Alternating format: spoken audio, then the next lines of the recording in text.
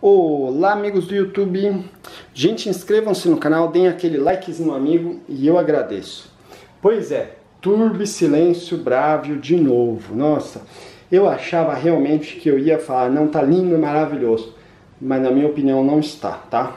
Olha, esse não é o velho Turbo Silêncio Brávio, e tá diferente, ó, tá com novo motor, 140 watts, está fortão, realmente está fortão, tá? É, mas é o velho problema desse modelo aí, que eu achei que tinha melhorado realmente, eu realmente achei, tá?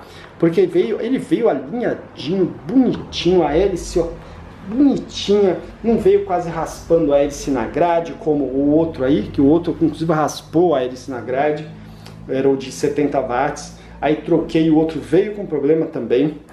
Aí nos hipermercados eu prestei atenção, tudo tremendo, tremelicando, esse turbo silêncio bravo aí, fazendo uma barulheira danada, ah, sabe, a base tremendo, porque trepida tudo aí, fica uma barulheira horrível. E eu achei, achei que esse não ia pelo mesmo caminho, ele não está fazendo exatamente isso, mas está indo pelo mesmo caminho, tá gente? Está indo, só usei para testes ele, e, e, ele está indo pelo mesmo caminho, ou seja, ele está começando a se trepidar todo. Não é a hélice, aparentemente. Deixa eu ligar, só para ver se, se, se, a hélice piorou, desde a última vez que eu testei ele. Vamos ver.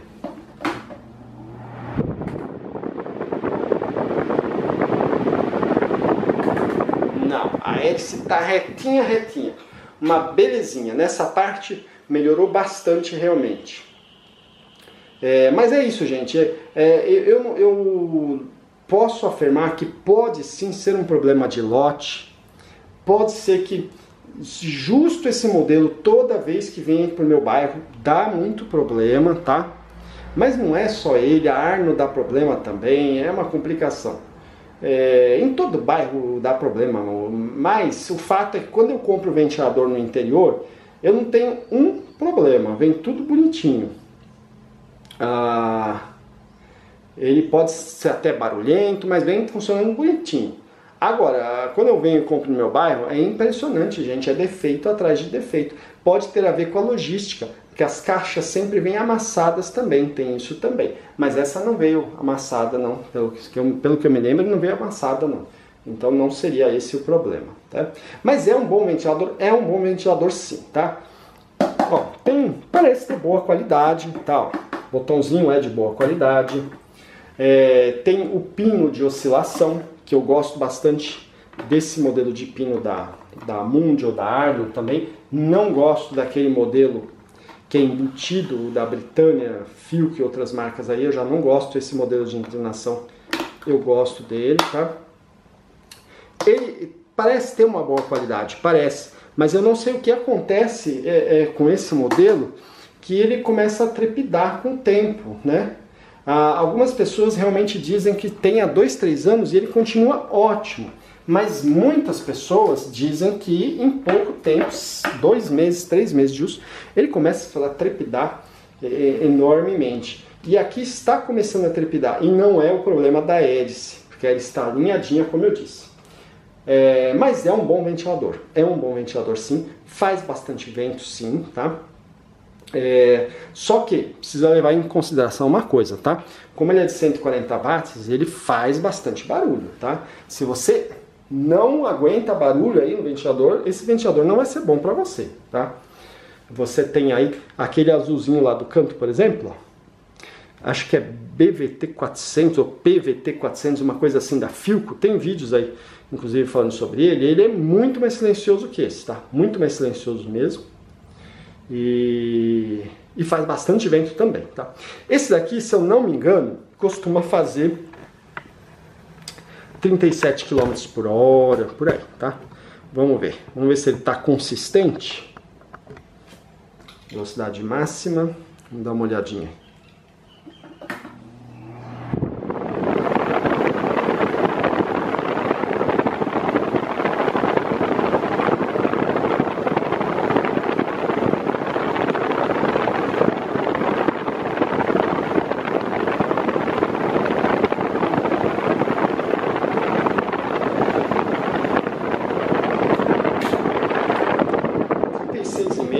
Próxima. Vamos ver a velocidade mínima.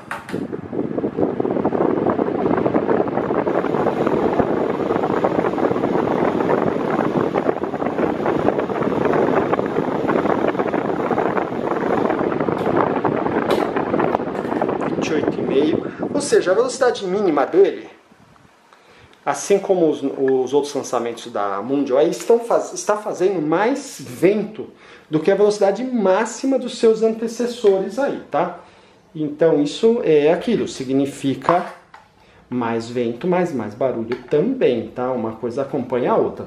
Vamos só ver o consumo dele. Deixa eu mostrar a etiqueta. Antes de mostrar o consumo, vamos ver aqui. Segundo o Procel, esses são os dados. Olha lá. A hélice 40 centímetros, vazão 1,22. Ah, mas está longe disso, tá? Muito longe, porque a vazão do Arno é 1,23 e faz muito mais vento que ele. 3,90, não lembro se o Arno consome 3,80, ó. É, tanto que ele ficou na B aí de eficiência, tá? Agora vamos ver. É, então, teoricamente, ele vai fazer 115 watts, por aí, tá? O Arno também não faz 126 watts, não. Ele, ele consome um pouco menos aí do que fala, do que se fala. Não sei o motivo dessas diferenças aí não, mas acontecem, tá? Então, vamos lá. Vamos ver a velocidade mínima dele. Se for comparar com outro, com o Black Premium aí, o Premium Black, vai fazer uns 70 watts mais ou menos. Vamos ver.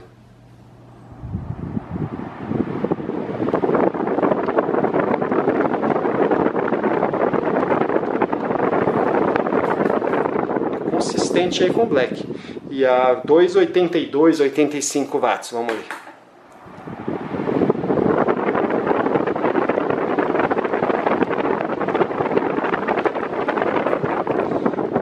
Vamos ver a máxima. Vai fazer uns 115 talvez por aí.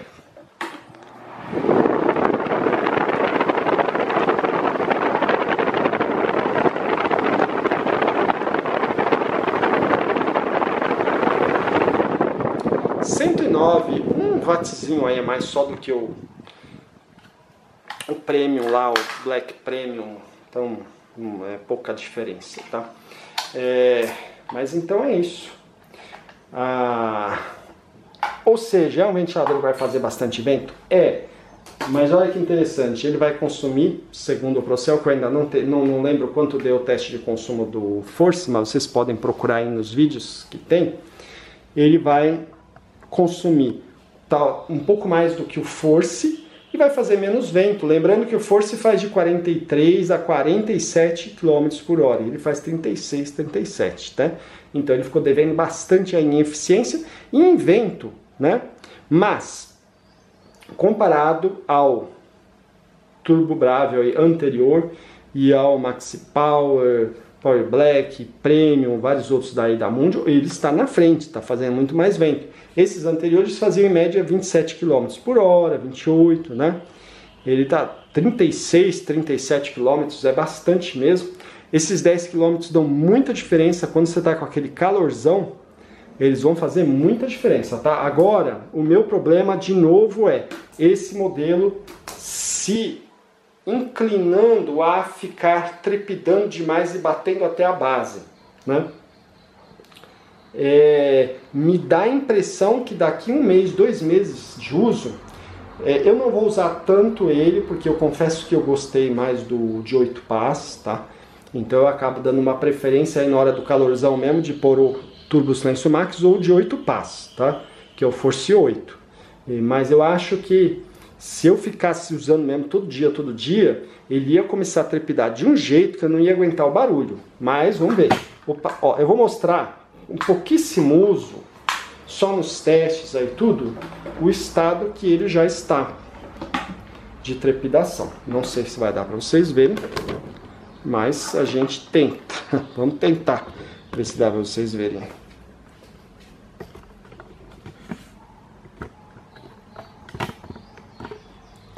Vamos ver.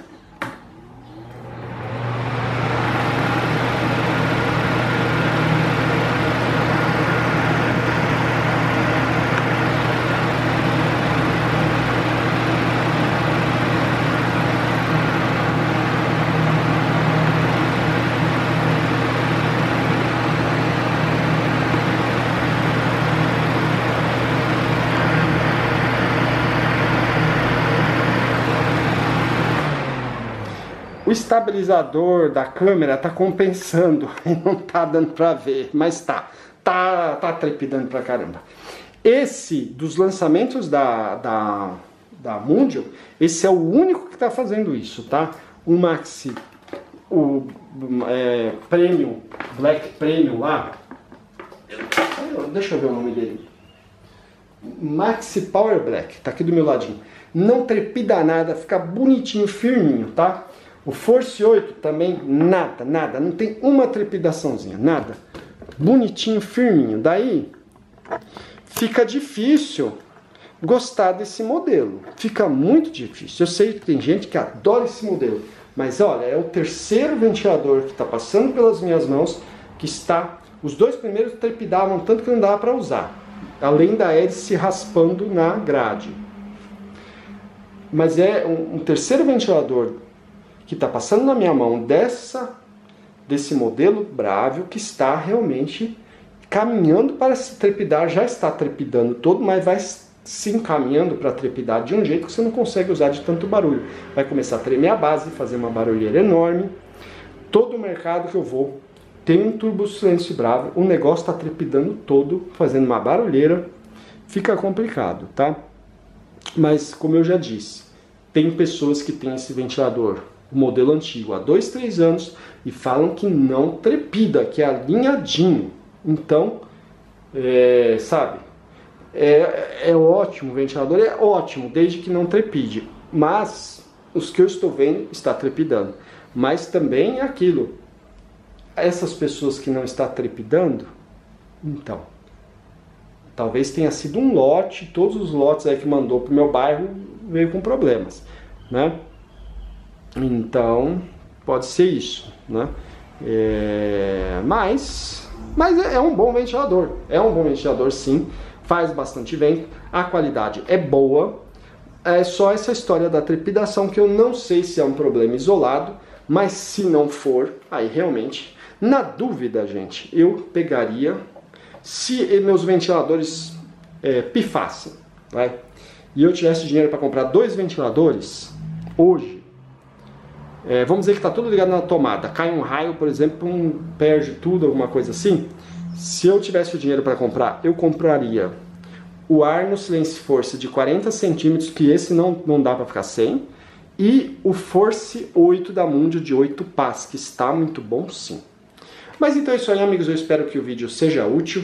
Lembrando, eu não estou falando para você não comprar ele, nada disso. Mas o meu está trepidando. Outros dois que eu tive estavam trepidando, que era dos 70 watts, tá? Então, isso me deixa meio é, desanimado com essa linha Bravo. Mas tem gente que está falando que está muito bom e não está trepidando, tá? Então tem isso daí também. É, agora, sinceramente, eu acho que o Maxi Power e o, o modelo novo, tá? o 140 watts. E o Force 8 tem mais chances realmente de não trepidar e não dar problema. Mas, né? Mas é isso aí então, amigos. Deem aquele likezinho amigo para ajudar o canal. Se inscreva no canal. Depois de inscritos, você clica no sininho ao lado de do ventiladores para receber novos vídeos. Compartilhe o vídeo nas redes sociais e eu agradeço. Dê uma olhadinha na playlist Ventiladores do canal com mais de 300 vídeos só sobre ventiladores e algum deles pode ser útil para vocês. Até mais, amigos!